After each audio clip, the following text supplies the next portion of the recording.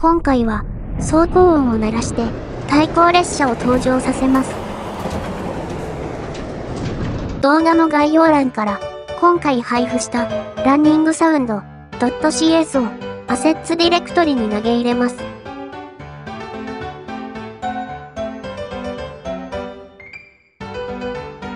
走行音の音声ファイルもインポートします。新規のディレクトリに分けましたが分けなくても OK です。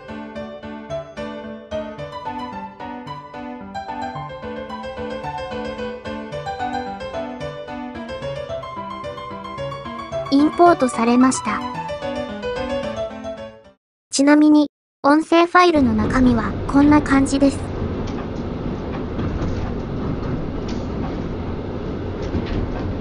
やや低めに加工してあります。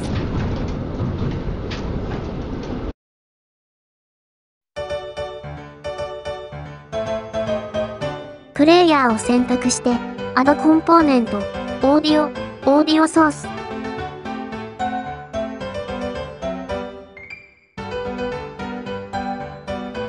オーディオクリップにインポートした音声ファイルを指定します。ループにチェックを入れてください。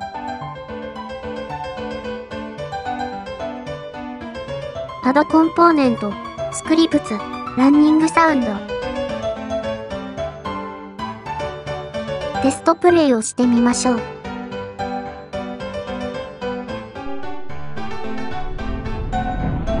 音がプレイヤーの移動スピードと連動して鳴るようになりました。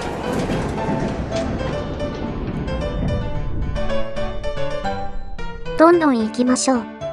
次はブレンダーで作った対向列車を走らせます。アセッツディレクトリに投げ入れたドットブレンドファイルをドラッグドロップしてください。線路に乗せます。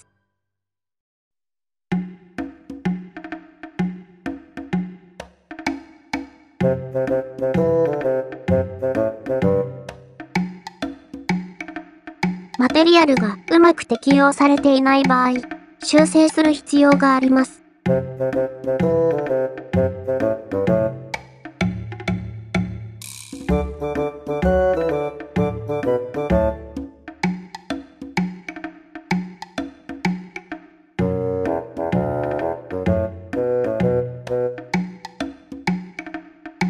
準備ができたら、アニメーションファイルを作成して、対向列車に適用します。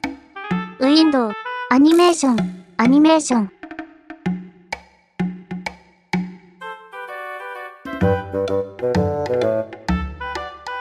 クリエイト。アニメーションファイルを新規作成します。名前は何でもいいです。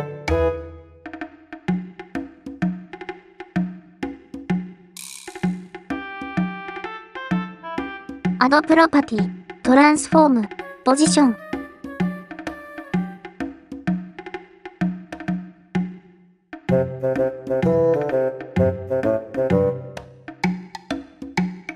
赤い録画ボタンを押すと、対向列車の位置を記録してくれます。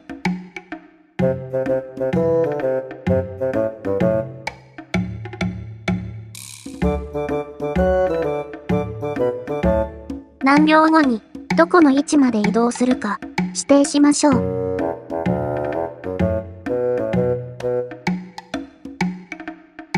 再生ボタンをクリックすればアニメーションをプレビューしてくれます。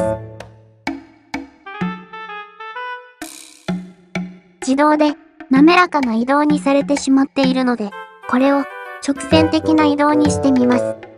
カーブズをクリックして左右のタンジェントをリニアにしてください。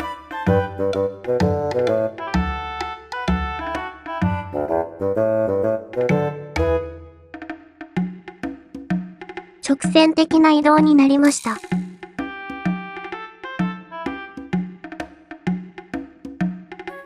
では、この手順で対向列車にプレイヤーとのすれ違いをさせてみます。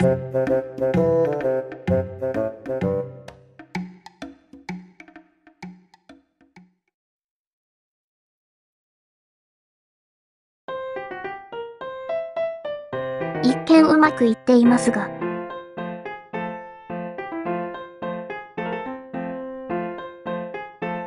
アニメーションがループしてしまうので、これを直します。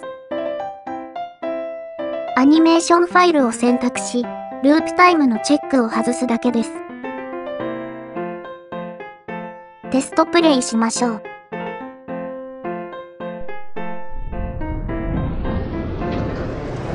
あれ？対向列車のポリゴンに突っ込んでいます。プレイヤーの中のメインカメラを選択。フィールドオブビューを調節します。